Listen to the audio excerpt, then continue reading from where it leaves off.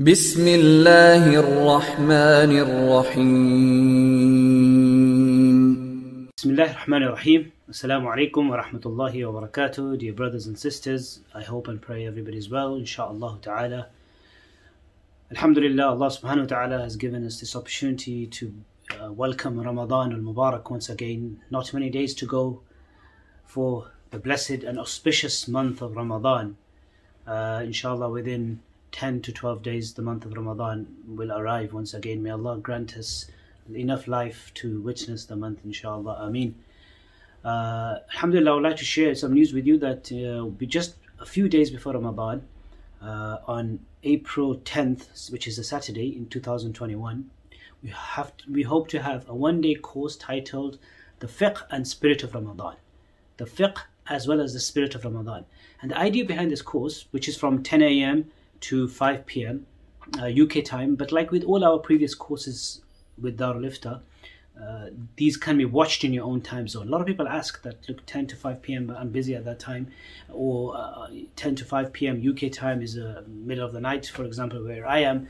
So wherever you are, you can watch these uh, sessions according to your own time zone, and they will also remain available for approximately a month that you can watch them inshallah. And so even in ramadan you can watch them. You can repeatedly watch them. So but it's about good six seven hours on the fiqh and spirit of ramadan so what we want to do is talk about the spirit of Ramadan. Spirit of Ramadan is like what what are the inner dimensions of fasting? Why do we fast? What is the real meaning and purpose of fast? What is the real purpose and meaning of Taraweeh and Qiyamul Layl? What is the real purpose and meaning of I'tikaf, the spiritual retreat, and the various worships? So the inner dimensions, the the wisdoms and the deeper meanings of these great acts of worship which are carried out in the blessed month of Ramadan al Mubarak. And then the fiqh aspect is what we want to talk about. So the fiqh of fasting, you know, a, a, detailed understanding of what invalidates the fast, what does not invalidate a fast, when does your fast become disliked makruh, when can you invalidate it, who has to fast, who doesn't have to fast, who's ill and sick that they don't have to fast. If you don't fast, what are the rules of the expiation, qada, makeup, kafara, fidya?